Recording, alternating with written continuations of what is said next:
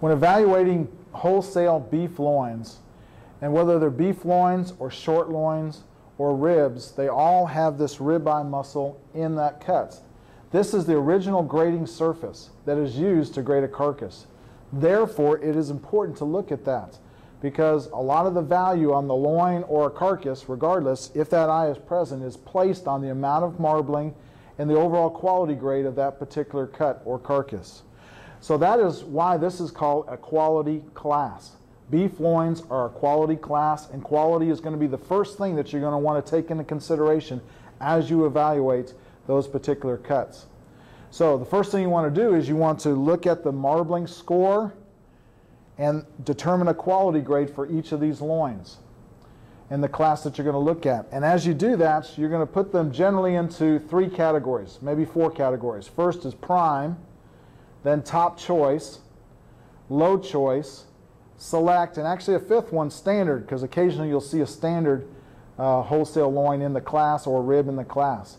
If you see a standard, that, that cut almost always goes to the bottom, and a standard would be a cut that has no marbling inside, almost no marbling inside that loin eye.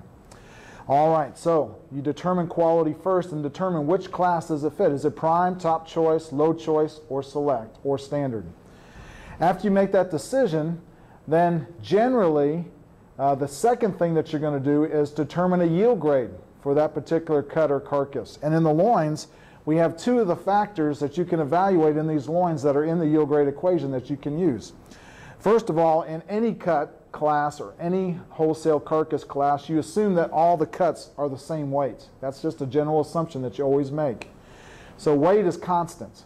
Okay, with weight constant, then the cut that has less fat here, okay, generally is going to have a better yield grade, right? A more uh, lower number yield grade, a better yield grade. Also one that has a larger ribeye, okay, will have a better yield grade. Now you'll look at these two and you'll make an evaluation of those and the first thing you want to do is just like you would in beef carcass grading, you'll do, look at the point from the bottom of the ribeye here to the top of the ribeye. You'll go three quarters of the way up and take a measurement at that point. And that's what you call your 12th rib fat thickness and you can determine a preliminary yield grade from that. And you'll do that for both of those cuts. Then secondly, you'll evaluate the size of that loin eye. And as you evaluate you can say things, you may not have to guess the actual square inches, but you'll say, look at those two, and you'll say, well, this one is a larger ribeye. It's about an inch and a half greater. You can say things like, that's a half a yield grade. An inch and a half greater ribeye is about a half a yield grade advantage.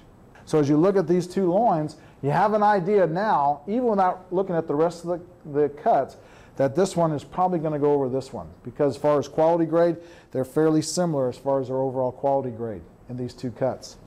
Now, don't be fooled into only looking at this place. You need to look both at the sirloin end as well as the rest of the cut. Generally, what you're going to do is if, as you look at the quality grade, if they are the same category, whether it's prime, top choice, low choice, select, or standard, if they're both the same quality grade, then generally you're going to place them according to trimness and muscling. And I always encourage students to look at trimness first. Look at trimness first, and if they're close in trimness, then you place them on muscling. All right, that's if they're in the same quality grade. And where you're going to look for for trimness is you're going to look over the ribeye or the loin eye. In the case of loins, ribeye in case of ribs.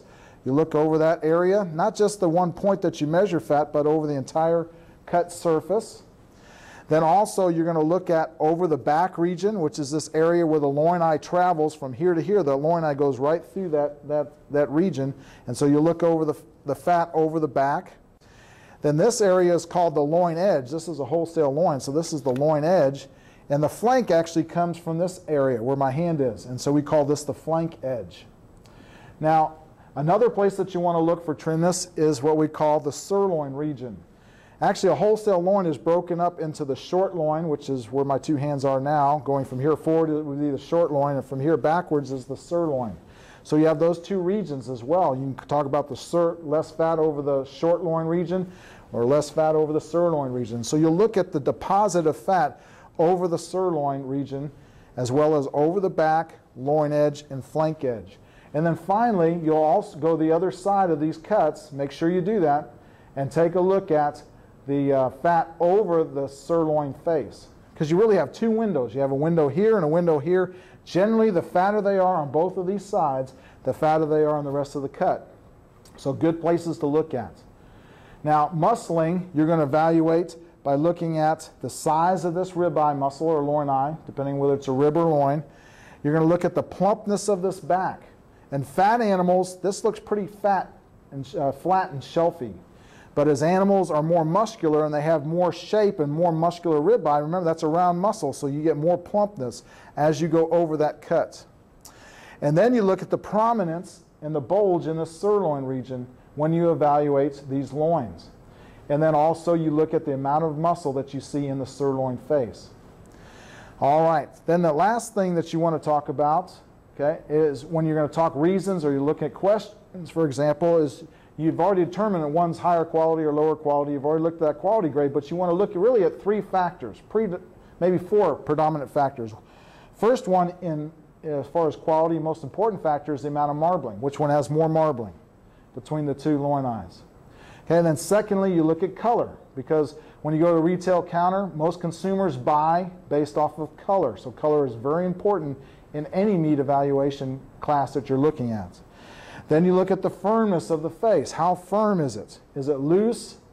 Okay, or is it firm and fairly straight? That's a good indication that uh, it is higher quality. Firmness is better. And then another one that we talk about sometimes is texture. And texture is kind of the graininess of the surface of the muscle. Is it real kind of coarse appearing or is it fine? Uh, for example, a tenderloin versus an eye of round. Eye of round is very coarse textured you can see the very mus the, the muscle bundles of that cut. And a tenderloin is velvety in appearance and very smooth across the surface of that cut. And so you want to evaluate that even in within the rib eye or loin eye muscle that you see here.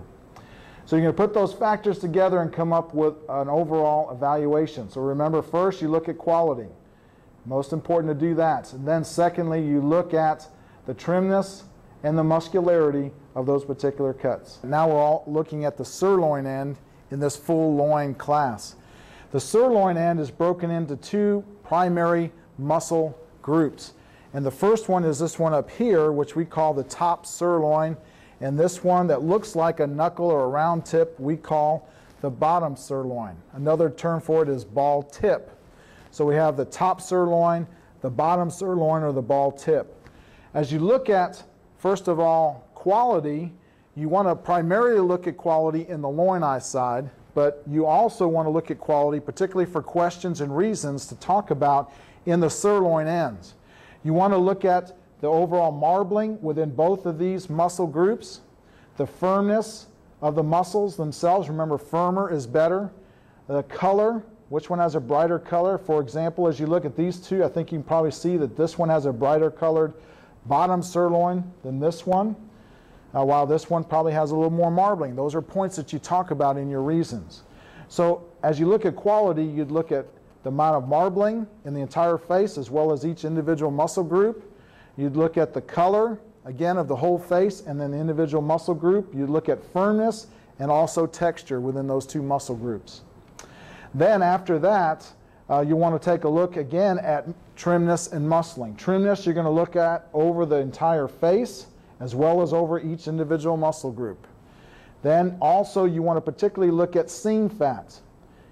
Generally, the more muscular they are at this place, the more muscular they are in other places on this particular cut. Again, it's a window that you look, look at to evaluate muscularity of the, cut, uh, of the cut or the carcass. So as you look at this, you can see this one has a larger top sirloin and a larger knuckle than this one over here. Another term that we would use is meatier.